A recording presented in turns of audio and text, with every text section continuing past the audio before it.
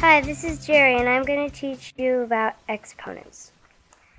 Okay, so the number 2 here is the base, and the number 4 is the exponent. Now, most people think that what you have to do is multiply 2 and 4, but that's not the case. What you have to do is multiply 2 four times, like this.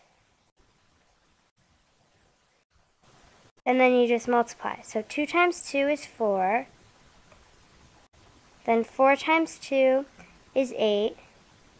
And 8 times 2 is 16. So 2 to the fourth power equals 16. Thanks for watching.